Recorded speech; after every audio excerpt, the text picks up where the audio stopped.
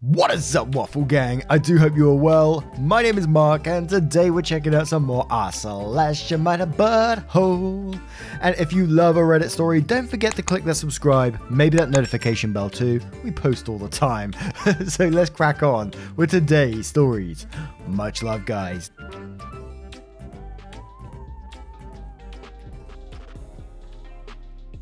Now, our first story comes from Am I the Arsehole Joke Mistress titled Am I the Asshole for ruining the family vacation by refusing to go to dinner after my husband laughed at his cousin's joke and telling him to take his mistress instead?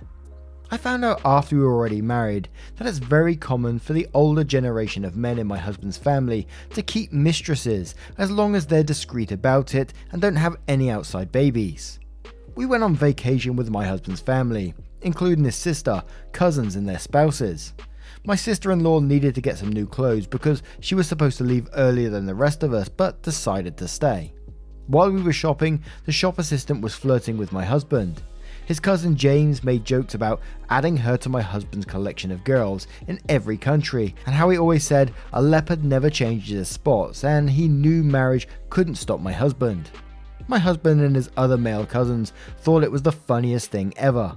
I didn't find it so funny, and neither did his sister, who told James to shut up. In the evening, we were supposed to go for dinner, and my husband noticed I wasn't getting ready, so he asked me to hurry up. I told him I didn't want to go. We had an argument where he was saying James was just joking. I told him I didn't find it funny, and he could take his mistress to dinner instead.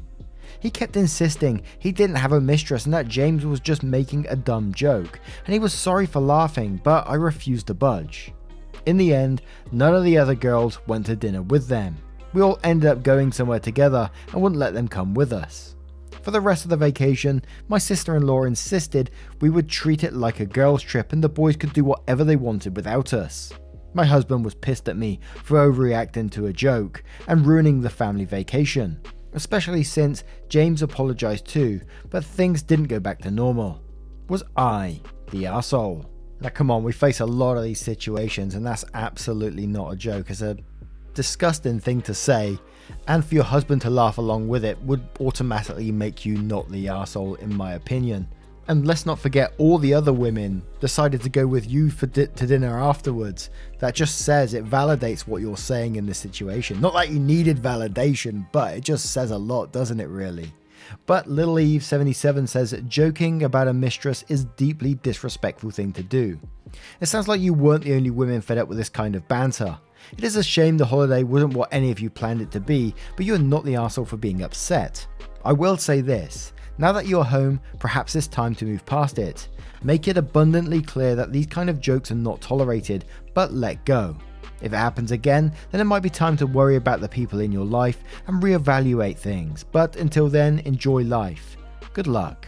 Essex Catwoman says not the asshole, and good on you women supporting each other. Adultery isn't a joke, and if your husband thinks it is, he has to think again. When you found out about the tradition, did you discuss it with your husband? What did you agree? Driftwood says not the asshole, but culturally, I'll bet if you took a discreet lover or your ladies joked over having one join you on your ladies' time out, then he wouldn't be laughing either. Live Life 30 to the full who says not the asshole. This is men being pigs. You don't joke about cheating. I would have a big talk with the husband. And one more from Cat Ann 119 who says not the asshole and quotes in the end none of the other girls went to dinner with them. We all ended up going somewhere together and wouldn't let them come with us. For the rest of the vacation, my sister in law insisted we would treat it like a girls' trip and the boys could do whatever they wanted without us. And then says, So all the other females on the trip think the exact same as you, and your husband still thinks you're overreacting. I think he needs to learn to read the room better. If half the group are pissed about a joke that they refuse to be near the other half that thought it was funny, you gotta question the appropriateness of the joke. Now, what would you do if you found yourself in the same situation as OP? How would you react to this? Let us know your thoughts in the comments below, and we'll move on to the next one. And our next story comes from Not the Handyman 987, titled Am I the Arsehole for refusing to help with brother in law's house? I'm a pretty handy guy. My dad had a home remodeling business, and I worked for him all through high school and college, and even some after that when he was really busy. My wife, Susan, and I basically renovated our whole house during lockdown. My wife has a very bad habit of volunteering me to help without asking me first. We have thought about this in the past and I have told her I will not do it in the future. My wife sells real estate and she has been looking for a house for her brother Paul and his family. The housing market here is insane, so finding something they can afford has been a real challenge. In late August, my wife announced she finally found a place and wanted me to take a look. Susan talks about what a great deal the house is because it needs a little work. The house is a mess. There is tons of work, including redoing the kitchen and bathrooms, fixing drywall, and a lot more. I asked him who was going to get to do the work, thinking I could recommend some guys that used to work with my dad. Susan and Paul look at each other, then she says that she is sure the two of you can do it. Well, first of all, me and him would, would mean me, as Paul has no home improvement skills at all. I just said, no way. Paul asked me what I meant, and I told him that there was a ton of work needed to be done, and I wasn't signing on for it. I'm not spending every weekend for months working on someone else's house. Susan and I argue about it, but I refuse to budge. Susan says fine. If I won't help, then she and Paul will do it themselves. I should say that while Susan did help with our renovation, particularly things like painting, I did the bulk of the work. I know my wife and I know she is thinking that I will end up giving in and helping. I warn her that I mean it. I'm not helping. She says she and Paul can do it. Paul buys the house. Well, it goes about how I expected, meaning very badly. They had estimated it would take two months to make the house livable enough for the family to move in. Six weeks in, and they have made little progress on the meat of the house. My wife is getting more and more irritated at me. I never bring up the house, and I refuse to engage when Susan brings it up. I'm taking next week off of work, and I told Susan I would take care of our house and kids. Typically, we split up chores while I was off. She hit the roof. She told me that if I was off for a week, then I should be helping with her brother's house. She brought up that they had two weeks to make it livable, or he's going to have to pay both the mortgage and rent for his apartment, and he can't afford that. I replied that I told her from the beginning that I wasn't helping and I meant it. My wife has now not speaking to me since, according to her, I hate her family. This is a hill I'm willing to die on. However, I know that her brother is the one that is going to get hurt. Am I the asshole for refusing to help? Now, this is a very simple one to me. You set your boundaries from the very start that you said, no way, you know, Paul hasn't got any DIY skills at all, and it should be left to you. And so you're like, nope, I don't want none of that. And you just want the time for yourself, which I can't blame you for. You can't buy a property expecting someone else to fix it up for you. That's just not the way to go about it. So it's 100% not the asshole to me. And your wife's a huge asshole for volunteering, then still going and still convincing Paul to buy it under the assumption that you you will give in eventually. And then after trying to twist things on you saying you hate her family. And it's like, no, you don't hate her family. You just don't like being volunteered to do shit that you said you didn't want to do to begin with. Whew, not the asshole. And we're going to start with Crafty Edition 9105, who says, My wife has a very bad habit of volunteering me to help people without asking me. Not the asshole OP. So Lukey Queen says not the asshole. Her brother is a grown up who heard you say very clearly that you weren't signing on for this. If he chose to ignore you, even at the behest of his sister, that's on him as much as it is on her. 5NL007 says not the asshole. Why does your wife think it's okay to think she can volunteer your time? It's time for them to man up and pay someone to finish the basics of the house so they can move in. That's a lot of work from the sound of it. It's not being mean or hating on family, but you have to value your time, unless brother in law would like to pay for your service as a skilled professional. Laughing Baguette says, Not the asshole, your wife is in real estate. She should understand what a pain in the ass it would be to fix a house that is not livable, especially for someone who isn't a full time contractor. Tralfamadorian says, Buying the house knowing it needs a certain degree of work means you have to have the money to buy the house plus pay for the work needing to be done. If he didn't bother to work those costs into the final sales or mortgage total, that's on him. I don't know how your wife is equating to you not taking on a job you literally said you wouldn't do as you hating her family, but whatever. Sounds like she expected you to cave and you're not. Good on you. That's a huge ask of you, and they're acting very entitled. Environmental ad says not the asshole, her fault for not discussing and assuming you'd give in. That's taking advantage of you. They need to pay you if they want it fixed. Simple as that. And one more from such lovely lilacs who says, Not the asshole, I'd be willing to die on this hill too. You upfront that you refuse to help. Reasonable. You offered to give some recommendations for people to do the work. Also reasonable. Your wife thought she would manipulate you into doing this and can't handle it that you're standing your ground. None of this is your problem. You were nothing but clear about your intentions. Your wife is the one who took the liberty of offering your time and talents when she had no business doing so. Now she has to pick up the pieces. If she is willing to destroy your relationship over this, then sorry, but there wasn't much of a relationship to begin with. Now, what would you do if you found yourself in this situation? Maybe you have before, maybe someone's volunteered your time. How did you react to that? Let us know your thoughts in the comments below, and we'll move on to the next story. And our next story comes from TA Wolf of What and says, Am I the asshole for reminding my husband's friend that I make three times his salary? My 30 female husband, 32 male, has a friend, Mike, 36 male, who fancies himself the Wolf of Wall Street. Mike got some money when his grandpa passed away, 150k, and blew it all very quickly in a get rich quick schemes, as well as trying out day trading. He's currently working in a call center while trying to make it big. He has no inheritance money left.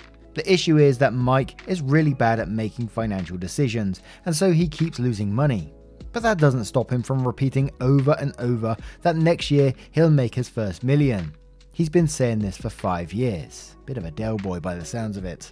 I wouldn't mind his attitude as, as much, except he constantly belittles me and my husband. Looking down on us, looking down on us for our car when he doesn't have one, or saying that smart people work for themselves as a dig to our jobs. He finally made money last week, 2k, and came over for dinner. He was on a huge high from making money and was more arrogant than usual, talking about how he's going to buy a really expensive car and wouldn't be caught dead with the car we own. He then kept saying, I made 2k in 15 minutes. Nobody else at this table can say that.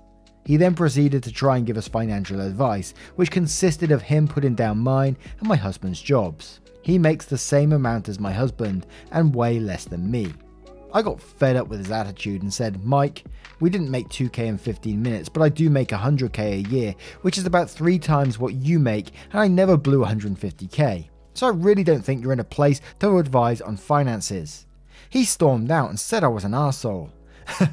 My husband thinks I should have been nicer since I know how he is. Am I the asshole? And straight away, knowing how someone is isn't an excuse for that person to be an asshole. This guy's an asshole, you are not. But I've got to say, I wonder what this guy's qualities are, you know, his endearing qualities that make you actually like him, that makes you want him to have him at your dinner table, because he sounds insufferable from this post. But Sepha32 says, not the asshole. You know how he is. Now he knows how you are. Let that be his fucking problem. Tralfamadorian says, Why are you friends with this person? Not the asshole. Am I the asshole? PS5 says, and not the asshole. He got a reality check and he didn't like it. Don't dish if you can't take it in return. Typical bully behavior. Shaman Bob says, not the asshole. You know how he is, is a phrase used by people to excuse bad behavior. It's not okay, and we need to collectively stop accepting that shitty behavior is okay because that's just how they are. Guess what? That's how they'll remain until people start calling them out on their bull. Good for you, for OP, for shutting it down. He deserved it and maybe, hopefully, will be a bit more humble moving forward. And one more from Jin BB who says, Not the arsehole, I wish I had 150k. I could pay off my student loans and car and then start saving for a down payment for a house. I can't believe how lucky those money wasters get. Edit, I didn't realise me stating that what I would do would be so triggering. I'm not offering financial advice, and where I live, 150k is not enough to buy a two bedroom house. Now, what do you guys make of this one? What would you do if someone started boasting at your dinner table like that? Let us know your thoughts in the comments below, and we'll move on to another story. And our next story comes from a throwaway account titled Am I the Arsehole for telling my daughter that she's not model material? Throwaway. I, 45 female, have a daughter named Lynn, 18 female. A bit of background about me. When I was around Lynn's age, I really wanted to become a model. My mom was very supportive of my dream, maybe too supportive when I look back on it. Anyone who's been in the modeling industry knows it can be a brutal environment. You need to have very thick skin in order to progress in that line of work.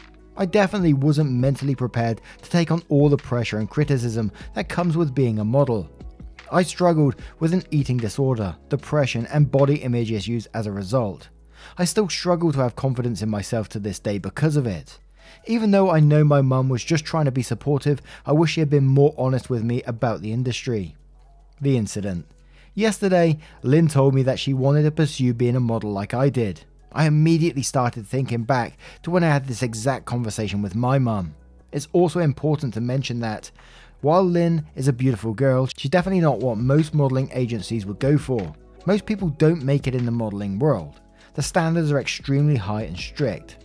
Lynn is also very sensitive when it comes to her physical appearance. I'm terrified that she'd go through all the hardships that I experienced. I don't want my daughter's confidence to be ripped apart by some dick modelling agent. I want her to be happy and content with the way she is, no matter what. This is the conversation that followed. I said, Well, honey, you know being a model isn't exactly all it's cracked up to be. Lynn replied, I know it's not easy, but I'm certain that I can do it if I work really hard. I sighed and said, Lynn, you know that I love you very much and I want to be honest with you. She said, uh, okay. The modelling world is very strict and they have very high standards that most people can't meet. To which she replied, What? Are you saying I can't make it as a model? I said, No, honey, it's not that. I don't think you're model material. I don't want you to be hurt like I was. Lynn just stared at me, and I could tell she was crushed by what I said. I desperately tried to explain what I meant, but she got up and locked herself in her room. She hasn't come out and she refuses to talk to me at all. I feel so awful. I was just trying to watch out for her and protect her. My husband called me a massive jerk and said I should have been more supportive. Am I the asshole? Now, I'm going to have to come at this from someone who doesn't know about the modeling industry at all. I've heard it can be pretty brutal, but I don't honestly, but I don't honestly know. And you know, you see on adverts these days that modeling's changed quite a bit in in the last decade or so. In some ways, not in all ways. And it look and from OP's age, who is 45 now, it would have been some years ago when they was modelling, and hopefully it has changed in a positive manner since then. But going back, I can see that, you know, their heart's in the right place, they're concerned for their daughter. But I think the way they went about it was probably the wrong way. The line, I don't think you're model material, if someone said that to me, it would say into my head that, that I'm not good looking enough or I'm not suitable in that way to be a model. I wouldn't be thinking about the mental stuff, you know, about the pressure that's put on you or anything like that. It would be immediately on my looks because of a model. But I may be totally wrong there. So I think the way you said it would make you the arsehole. But Andante79 says, Gentle, you're the arsehole. Your message was kind, your delivery was not. That's better than my. That's probably better than I could have put it in one line there. You could have told her about your experience and what you struggled with. Instead of saying you can't do this, you could have said, I'm excited for you. Here is what it's like. Fool me once, shame on you says you're the asshole. I'm around your age and modelled as a teenager as well. First of all, standards have changed drastically in the last 30 years, as have cultural norms. And while the modeling industry is still challenging, there is a lot more room for unusual, unique looks and even different body types than there used to be. But that's not even the issue here. Here is the issue and why you're the asshole. You claim to be worried about your daughter being sensitive and easily hurt, but then you literally discouraged her by explaining yourself in possibly the least objective, cruelest, and most hurtful way possible, that left your daughter with no real sense that you cared for her at all, but rather you thought she wasn't good enough. Who does that? Where you could have laid out the incredibly specific, often unrealistic standards of the industry, most models don't even need to be particularly pretty, but have to be unusually tall, thin, and have particular bone structure. Basically, they act as a human coat hangers. And explain how dehumanizing a lot of the work and interactions are. And that it's not about trying hard and about being aware that wouldn't always be treated kindly, listened to, respected, etc. Basically explaining that it is the industry that's the problem, and that you have concerns about her involvement in it and how it would affect her. Instead, you chose words that made it sound as though she was not good enough to be a part of it. Saying you're not modeling material has so many negative connotations about her that I'm just dumbfounded that was in any way a kind thing to say to a struggling teen. So yeah, you're the asshole. You just hurt and broke her heart and rejected her before she even had a chance for any modeling agent to do it. Pat James 904 says you're the arsehole. Models in this day and age come in all shapes, sizes, and looks. The best path would be to take her to a modeling agency, let them determine whether or not she has what it takes. If they turn her down, she would have gotten an objective opinion. Kitty Snowpants says you're the arsehole. You know you basically told your daughter that you don't think she's pretty enough to model, right? How could that not make you the arsehole? And one more from Sleep Signal 02 says soft you're the arsehole. Your intentions were good and coming from a place of experience. However, poor execution and wrong wording. Try explaining why you said what you said and your experience instead of high expectations most people can't meet.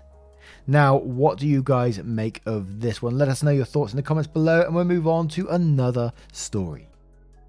And our next story comes from Snappy Jules, titled Am I the asshole for giving my kid his sister's toy after she rudely refused to share? I have two kids, Alexia, 16 female, and Ashton, 9 male. Alexia has always collected Webkinz from the time she was very young. She has easily over 200 of them. If you don't know, there's a website slash game tied to the animals, as well as you have a digital copy of every animal you get. Despite her older age, Alexia is still using the digital site to play with the toys. I think Alexia should focus on activities more geared towards a teenager, but I'm not going to stop her playing with the Webkinz. I do, however, think that she should share her toys with her brother when he wants to play with them, as a little boy would want to do. Alexia, however, completely refuses to share her Webkinz with Ashton and has told me I can buy him his own. It all came to a head today when Ashton was wanting to play with a dragon of Alexia's and she said no and literally ripped it out of his hand. He came to me crying and I just decided enough is enough. I'm tired of this rivalry between them. Since Alexia is just not going to budge in her rudeness, I told Ashton he could have the dragon. To say Alexia was pissed is an understatement. She told me I have to give her the dragon back because she paid for it. She's been funding for a whole toy addiction for a while now.